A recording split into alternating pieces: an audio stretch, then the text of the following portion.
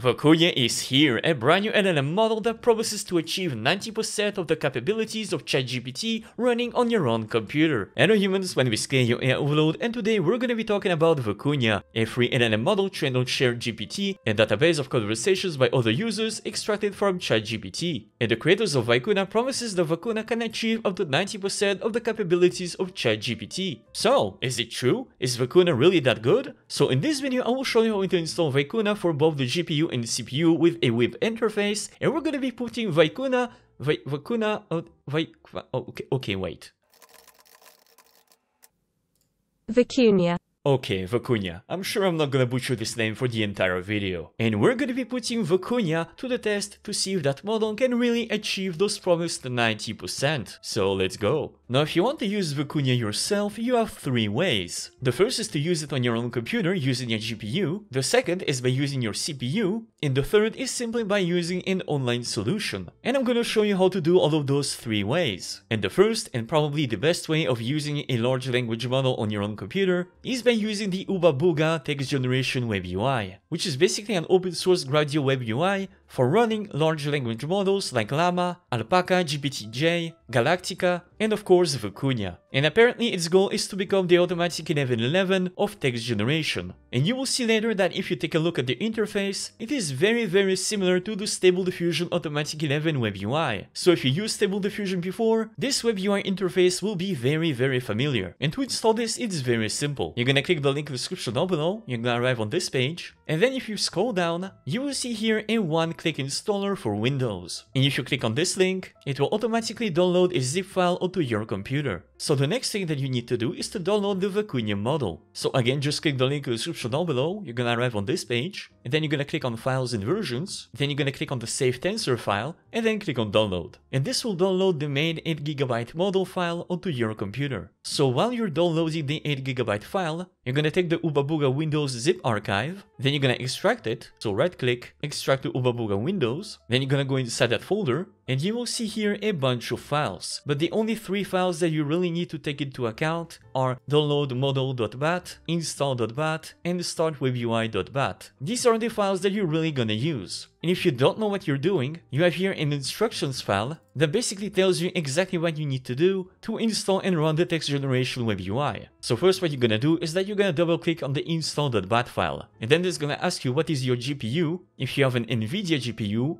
or if you don't have one and you want to run it in CPU mode. So in that case I would put A and then press enter and then it will start installing all the requirements that it needs to run. Now I'm not gonna do it because I've already done it before, and it does take a little bit of time to do it. It takes around between 10 and 15 minutes, and once this is done and everything is installed, you should have two brand new folders, the installer files and the text generation web UI. So then the second bat file that you're gonna run is the download model. And this will basically give you a list of all the models that you can download right now, and that will be automatically installed for the web UI. So for example, let's say that you want the first one, the OPT 6.7 billion parameters, well you can simply input A and then press enter. And again, I'm not gonna do it because it does take some time to download everything, but once this is done, if you go inside the text generation web UI folder, in models, you will see here a folder for each one of your downloaded models. So in my case, as of right now, I have the Facebook OPT 6.7 billion parameters, which takes around 12 gigabytes of space, and I have the Vicuña 13 billion parameters. Now, as of right now, you should not have this folder,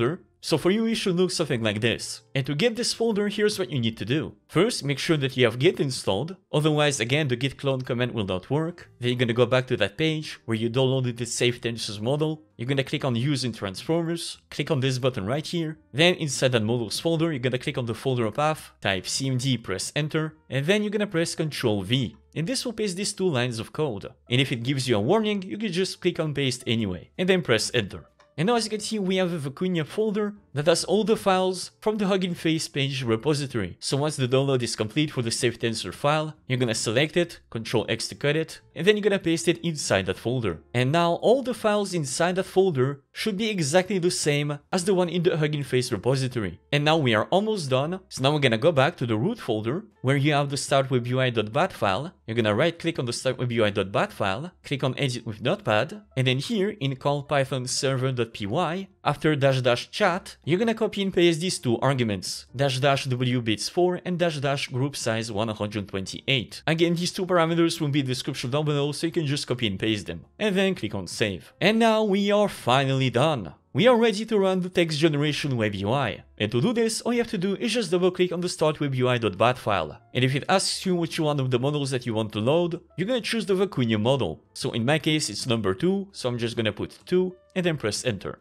And then it will give you a local URL, and to open it, just hold Ctrl and then left click. And there you go, now you have a beautiful web UI to run all of your LLMs for absolutely free on your computer. So if you scroll down and scroll up, you will see a bunch of options. But don't it's really not that complicated. You're really gonna be using only a few buttons. So here, for example, you have the input box where you're gonna type your text, hey there, what's up? And then very quickly, since this is running on my GPU, I get an answer from the chatbot. So to send the text, you either press enter or click on generate, which basically does the exact same thing. Then you have the stop button. If you want to stop the assistant from generating the response, you have the impersonate button that will basically craft a response in the same personality and style as your chatbot, which I will show you later on. You have the regenerate, which basically allows you to regenerate the response from the chatbot. The copy last reply allows you to basically automatically copy what the assistant told you. The replace last reply allows you to replace what the assistant told you, but to be honest, it doesn't really work well and you're probably not gonna use it. Remove last allows you to delete the previous answer, and the clear history allows you to delete the entire conversation. Then here you have a bunch of modes, which are still very new, they're still in constructions. And then here you have the character gallery that allows you to talk to a specific character. So here, for example, I'm talking to a character called Chiharu Yamada, which I don't really know who that is, but you can have a conversation with a character with a different personality, which allows you to get some very interesting responses. So now if you scroll up, you're gonna see also a bunch of options, you're gonna see a bunch of tabs. If you click on the character tab, here you can input your name,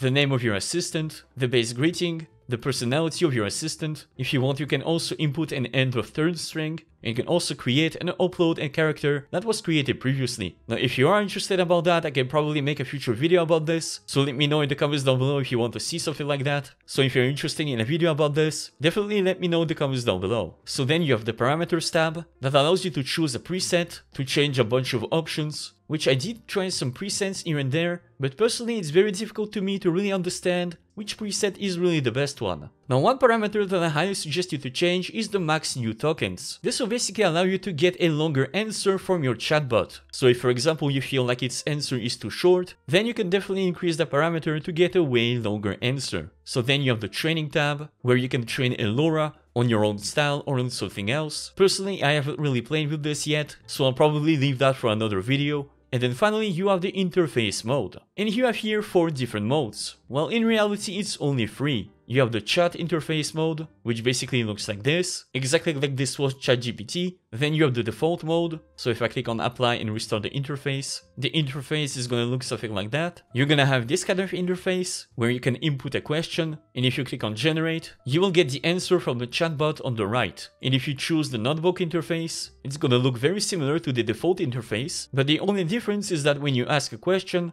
and you click on generate, you basically get an answer on the same exact page. Then you can then come and modify however you want. Now the one thing that you need to know about this interface is that if you don't choose the chat interface, the chatbot will not have memory from your previous conversation. So you're not gonna have the same experience as if you were using ChatGPT. But the reason why this interface is actually really really interesting is because it allows you to nudge the conversation to something that you want to hear. So for example, I'm gonna choose my Vicuña prompts, and if I ask something illegal, for example, like, so something like this, and if I click on generate, it's gonna tell me something like, I'm sorry, it's not appropriate, it's not legal, I cannot answer this question, etc, etc. However, if now I write the first sentence for the chatbot to something like this, and then I click on generate, lo and behold, what do I get here? I get a recipe for, well, I'm gonna stop it now because of YouTube, but uh, you know where this is going. So thanks to this interface, there is a way to nudge the conversation to something that you want to hear, which makes this very very powerful but also pretty dangerous. Oh, and also if you want to use like me, the Vicuña prompt syntax that you see right here, which is the official syntax that you're supposed to use, I prepared a prompts preset that you can use, so just click the link in the description down below, download the Vicuña prompts file, then you're gonna take that file, go inside the text generation web UI folder, into prompts, and then you're gonna put it right here. And then inside your web UI, you're gonna click here to refresh the folder, and then you're gonna select the Vicuña prompts. And now you will see the official Vicuña prompt syntax. Now you don't necessarily need to use this, but often it does create better results. Now before we start playing around a little bit with the Vicuña model, and see how good it is, if for some reason this interface does not work for you, I'm also gonna show you how to install and use the llama.cpp which is basically another way for you to use the Vicuña model on your computer using your CPU. And the installation for this is even simpler. So again, you're gonna click the link in the description down below, you're gonna arrive on this page, then you're gonna click here on the releases, and then you're gonna click here on the first avx.zip file and download it onto your computer. So then you're gonna need another special model. So again, click the link below, you're gonna arrive on this page, click on files and versions, and then you're gonna choose the latest revision file. So in my case, as of right now, it is the 13B 4-bit rev1.bin, and then click on download. So then you're gonna take your zip file, just like the other one, you're gonna extract it. So right click, extract to, and then inside that folder, you will see a bunch of exe files, but don't worry, you're not gonna use any of this. You're simply gonna take the bin model that you downloaded, Control X to cut it, Control V to paste it, and then you're gonna click on the last mega link and download the run vicuña.bat file. And for this, a big thank you to Spreadsheet Warrior for providing the batch code for this file. So you're gonna take that run vicuña.bat file, Control X to cut it, and then you're gonna paste it right here. And we are done, because now all you have to do is just double click on the run vicuña.bat file. And just like that, it is currently running on your computer using your CPU. And this is actually a very simple and very optimized way of running this model because this only uses around 4GB of RAM. Now it is a little slow, it is definitely a little slower compared to the GPU one, but it works perfectly fine. And actually I'm gonna say that I tried this previously during my testing and the result that I got from this model were sometimes better compared to the GPU one. But of course personally I still prefer using this web interface because of how easy it is to customize the parameters, the number of tokens, and using the special interface mode. Okay, so now that we spent so much time trying to install all of this and everything is finally running correctly, how exactly does Vicuña compares to ChatGPT? Well, for this I actually prepared a bunch of tests that we're gonna run on both ChatGPT and Vicuña and then compare them together. And the first test that we're gonna do is to ask them both to write a short story. So for example, if I write something like, write me a short story about a time-traveling scientist, and then click on generate, and as you can see, Vicuña wrote me a pretty long short story about a scientist traveling through time. So now if I write the same exact thing for ChatGPT, of course it has also written a pretty similar story. But to determine which one is the best one, how about we ask GPT-4 which one was the best? So if I write something like, here's two short stories about a time-traveling scientist wrote by two LLMs. Analyze those two stories and rate them both on the scale from 1 to 10 on the quality of the story. Then I put something like story 1 written by Vicuña, and I put the entire story, and then I put story 2 written by chat. So now, if I press enter, we actually get an analysis and a rating for both stories. And actually, in this instance, GPT-4 rated the first story written by Vicuña an 8.5 out of 10, whereas the story written by ChatGPT was rated as 7 out of 10. So actually, in this instance, Vicuña apparently wrote a better story than ChatGPT, at least according to GPT-4. Now the second test will be a simple translation exercise. So if I input something like, translate the following English sentence into French, the weather is beautiful today, I would love to go to the beach and eat some delicious ice cream. So if I click on generate, I get something like this, which is, um, okay, but not perfect. I can already tell you that this one is not the right word for ice cream. So now if I input this into ChatGPT, I definitely get a much better translation. But again, let's actually ask GPT-4 to rate both of these translations. So I wrote something like, here's two translations of the English sentence, the weather is beautiful today, I would love to go to the beach and eat some delicious ice cream in French, written by two LLMs, and again analyze those two translations and rate them both on a scale on 1 to 10 on the quality of the translation. So now, if I press enter, we get something like this, which indeed, as I said previously,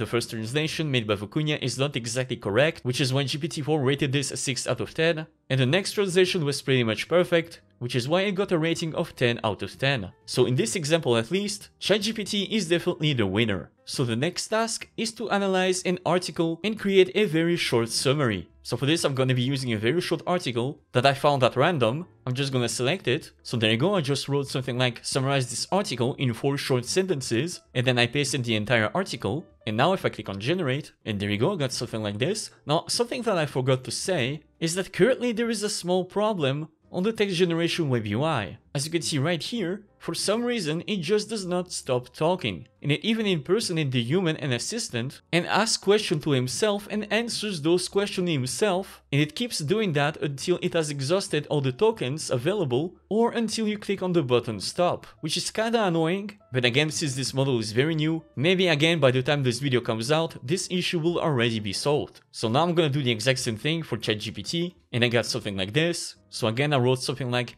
here are two summaries in four short sentences of an article. Those summaries were written by two LLMs. Analyze those two summaries and rate them both on a scale from 1 to 10. Then I inputted the original article. Then I inputted the summary in four sentences written by Vicuña. And then I inputted the summary in four sentences written by ChatGPT. And now if I press enter, and again I got a rating for both. The first summary written by Vicuña was rated an 8 out of 10, and the summary written by ChatGPT was rated a 9 out of 10. So again here for the language part they are actually very close, but again since Vicuña was trained on ChatGPT prompts and discussions, ChatGPT will always be on top. But again, the difference between them is really not that big, especially since this was written by a model running locally on your own computer. And then finally, for the last test, which I'm pretty sure that Vicuña is gonna fail, is a simple programming test. Because all I want is to create a web page with a button that when clicked, displays an alert message saying hello world. And I also want Vicuña to style the button using CSS to make it visually appealing. So now if I press enter, I get something like this. So I'm just gonna select this entire code, Control C to copy it, then I'm gonna create an empty HTML file, and inside I'm gonna put the code, save the file, and now if I run it, I get this very weird page with some kind of, well, button, but unfortunately if I click on this, um, nothing, nothing happens. So maybe if I tell Vicuña that the code doesn't work, it might change it and give me a correct solution. So there you go, now it has given me another code, so I'm gonna try it out. So now if I run the page, we basically get the exact same button, uh, if I click on it, oh, it actually works. I, I thought this was not gonna work, but actually it does. So the code does work. Oh, I'm actually surprised. I'm actually impressed. Because I'm gonna tell you right now, usually the code written by Vicuña works like maybe once every three or four tries. But actually this one works pretty well. So that's pretty cool. But of course I'm pretty sure that if I ask the same question to ChatGPT, I'm gonna get something way way better. And way faster too. So if I click on copy code, then put the code right here,